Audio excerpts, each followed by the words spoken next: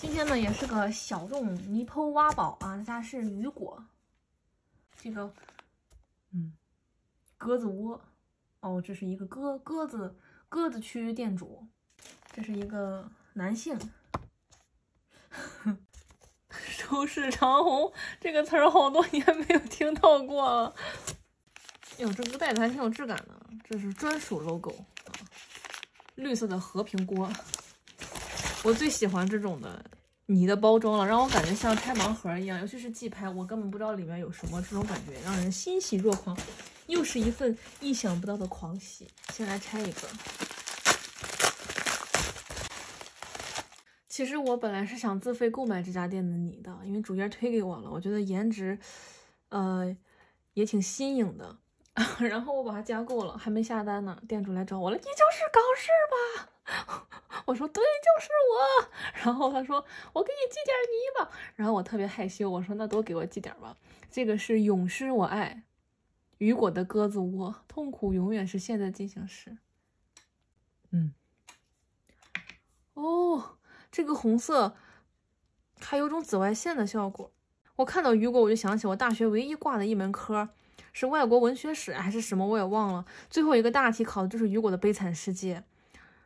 哎呀，其实平时整天背啊啥的，都搞混了哪个著作是哪个著作的内容了。这个上面是有着这种像光像金属光泽一样的这种花朵的叶片，它里面的这个填充物都有一种金属光泽。然后这个底胶呢是有一点黏黏，哦，这样有种枪弹玫瑰的感觉。它这个底胶也是两种透态颜色搭配的，这样扯开我才发现。哇，真的好凉啊！这个泥今天刚刚收到快递，然后这个花片，这个花瓣的本体展露出来了，还挺有分量的，有点像个加厚的薯片。这个也属于一个颜值造型透泰，挺有创意的。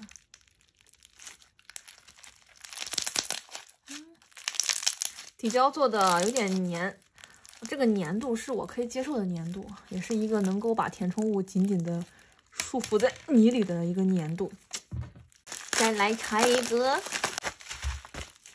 这个也是我加购的一款，叫百香果。这个说是会有一点轻微的浮油。我今天晚上为了录这个视频，放了我男朋友的鸽子，因为因为我从外面看不到这个泥是什么，我特别好奇，我又想把这份好奇留到录视频的时候去感受，所以我就没拆。我特别想拆，而且我现在已经三四天没有玩泥了。它撒的这个软陶片好奇特呀！是一个磨砂感比较强的冰沙泥，表面上浮的是油嘛？我怎么感觉像浮的像水呀？没有那么黏腻。感觉现在就是泥圈卷的太厉害了。之前稍微一个好一点的泥，然后卖泥的都会大吹特吹，现在都很谦虚啊，有一点缺点都会写出来。这个有点扯不动。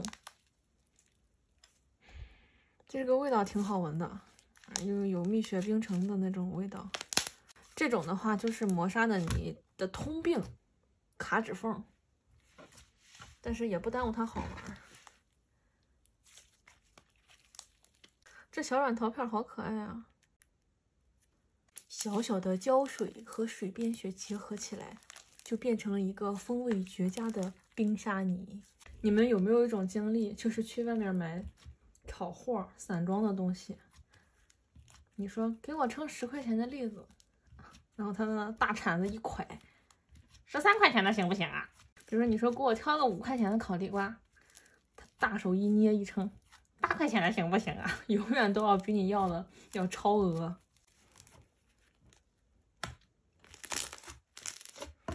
这个这个起泡之后，好像一个珊瑚绒睡衣啊！你们发现了吗？我每次玩白嫖来的你都异常兴奋，这颜色好可爱啊！不错，这个不错。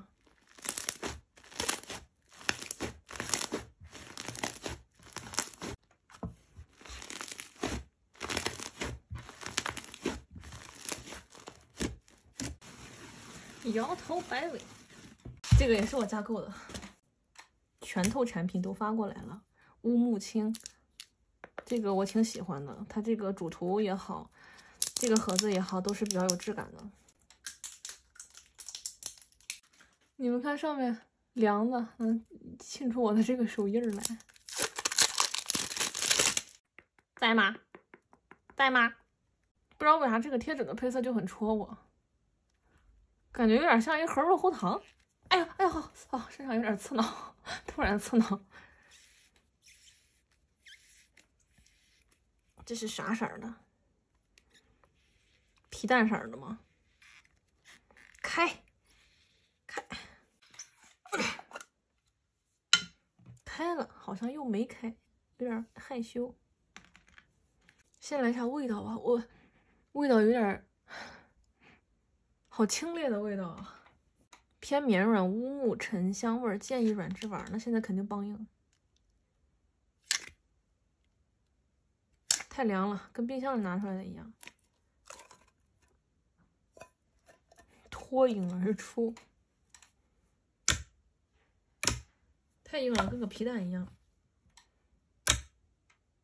这个在暖气片上加热了一宿，现在还带着些许的温热。我今天看评论区有人问我多大了，然后有人帮我回答说他大概三十多了吧。朋友，怎么三十多了呢？我还是个小姑娘。你又让我离退休近了几，又近了一大步。软质了，现在很软质了。就是这个颜色吧，有点像那个松花蛋的蛋黄，或者像那个东北有一个叫，哎，是东北的吗？那个石蛋，是我大脑里面没有储存过的一种香型。好了，现在储存上了，怎么离近了又闻不大到了？但是离近了闻没有任何的焦味儿。